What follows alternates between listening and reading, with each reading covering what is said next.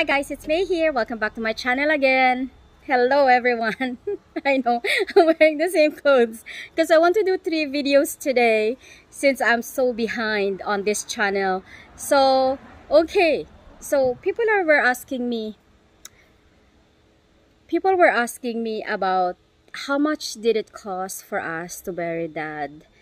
But first of all guys, if you are not subscribed on this channel, please don't forget to subscribe please help me make this channel monetize. I need 1000 subscribers and i need to produce 4000 hours or 240000 minutes. So if you guys are not subscribed on this channel please do subscribe. And i do have another channel which is princess Mae's kitchen. If you guys like uh, you know to cook uh, simple Filipino dish. It's in English. So for those of you who would like to learn how to cook Filipino food, it's in English guys. So I tried my best to put it in English. So if you guys would like to subscribe on that channel, please do subscribe. I'm close to 50,000 subscribers on that channel. So I'm really, really happy. So please help me get this channel monetized, okay? So, okay, let's start. So when we buried dad, here in North America, you need to have a life insurance because burial here in Canada or anywhere in, in, in North America is going to be very, very expensive. So when dad passed away, we spent a lot of money, but most of the money that we spent was from dad's life insurance.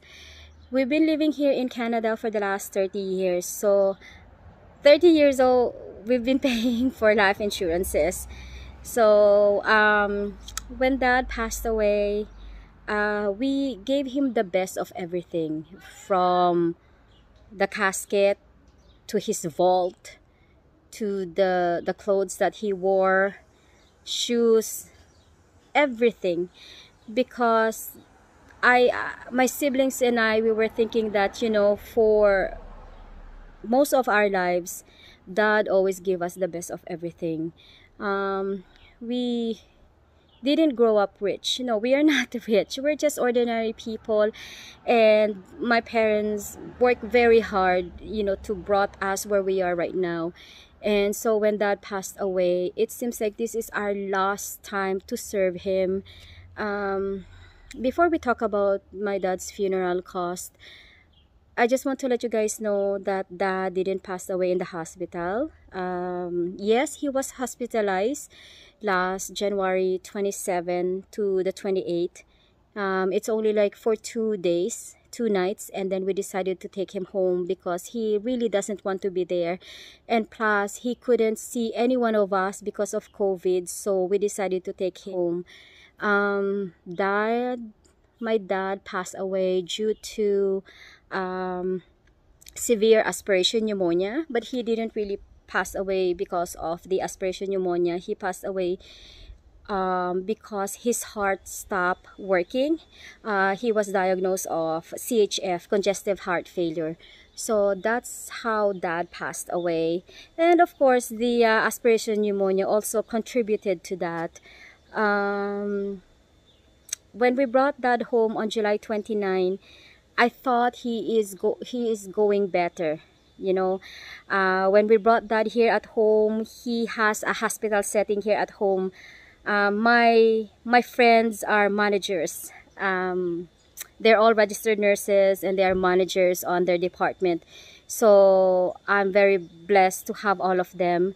They were the one who helped me ha to have that in a hospital setting here at home. From home care to physical therapy, to occupational therapy, to nurses coming in and out here at home. Dad has the best of everything. Um, you know, uh, he has his own hospital bed, he has his own um, oxygen, and plus because I work in healthcare, it also contributed to that, that I've known these wonderful people in, in our lives that help us when dad wasn't doing well. So when dad passed away, he passed away here at home with all of us around him. And and yeah so um, even on his last breath my dad died. I was hugging him on his last breath and that's why it was so difficult for me to kind of like you know recover from that because you know I've been working uh, in healthcare for so long. A lot of people died in my hands already holding their hands while they're on their last breath but I didn't realize that when it is your father it's it's so difficult. It was so hard to overcome that part. And sometimes you know when I sleep at night I can still see my dad because I was hugging him when he he took his last breath. And it was still very painful and that's why it's been a long time since uh, I've been doing like you know uh, videos and stuff especially in cooking because my dad is my number one fan um, on my other channel. And when he passed I just don't have the energy to cook anymore is because he's not there. So and yeah. So that was like a little bit background on how my dad passed. Um, he didn't pa he didn't died of covid and with god's blessing none of us got covid. Um, i work in a in a place where at one time it was really really bad the covid in our area. But you know it was just a blessing that on night shift i was one of the people. There's only two of us that didn't had covid and i was one of them. And i was so thankful to god. And until now we're all healthy. And i think that's the god's blessing for us you know. And so um, when dad passed away uh, he had the insurance um, 70% covers his funeral um, and his burial and stuff. So whatever was left my sister and I and my brother we were the one who put our money in to cover everything. Um, my dad had one of the beautiful um, coffin that we picked it was my mom who picked the coffin. At first it was me and my sister and then my mom she, she changed it and it was very beautiful. Um, I wish I can show you guys the video. I have a lot of videos but um, I couldn't really post it because I don't want people to kind of like um, you know um, see my dad in that situation. Like when my dad passed away his face was just he was just like sleeping. So okay so we picked the best coffin the best vault the best clothes. My sister-in-law was the one who picked it. And everything was you know we give him the best of everything because we were thinking you know this is the last time we're going to serve dad. And of course we're not going to see him anymore. And the money that he had for insurance we applied everything to his funeral because like you know my siblings and I you know with God's blessing we are all working and we're earning money too.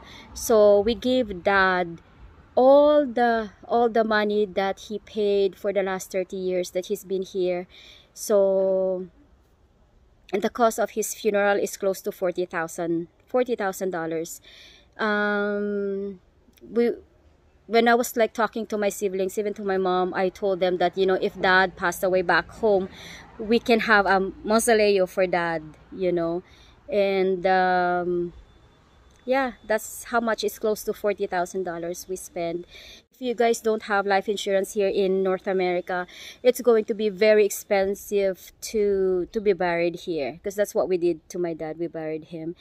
Um, when he was leaving before, he just wanted to be cremated. And he told me and my sister was the witness of that. He told me that if he passed away uh, we can just cremate him and his urn i can put it on my small altar inside my room but I said to my dad, you know, uh, we don't have the heart to see him burning like that.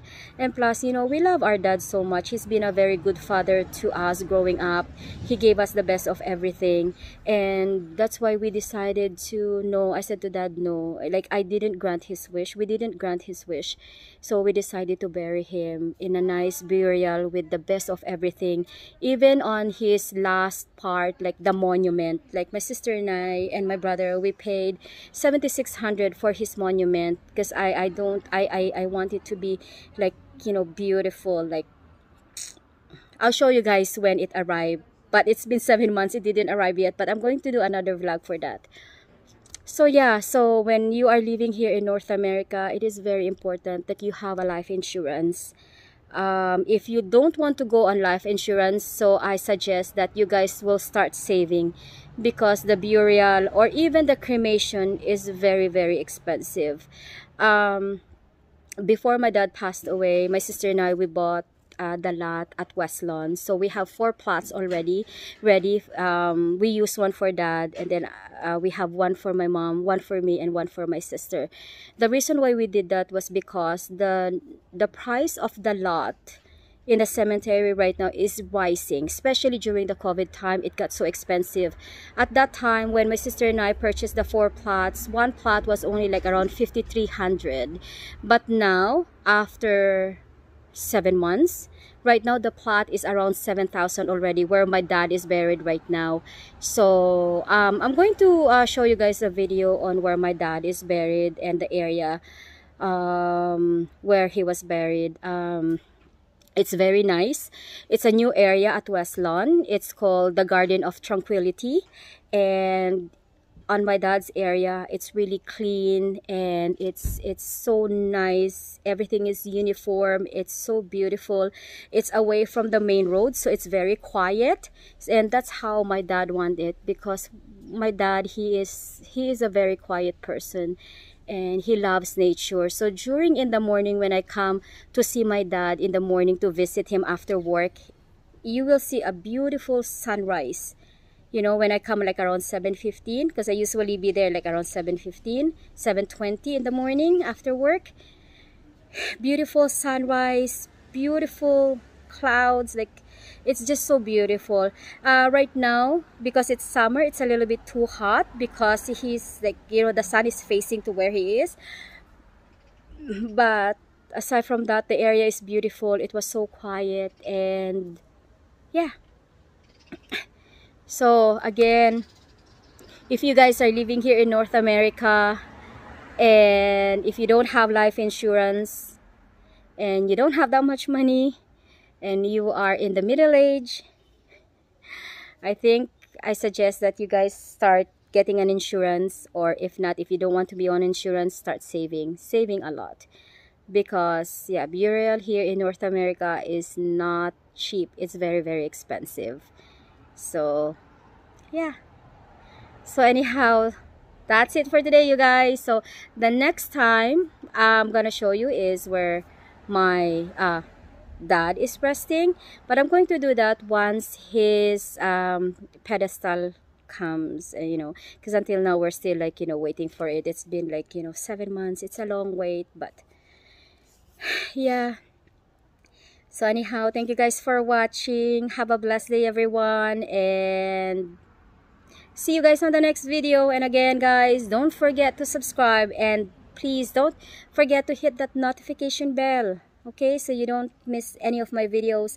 And again if you guys would like to learn how to uh, you know do basic cooking Filipino cooking cooking 101 I have another channel Princess Mae's Kitchen so please do subscribe, okay? I'm close to 50,000 subscribers, you guys. I'm so happy.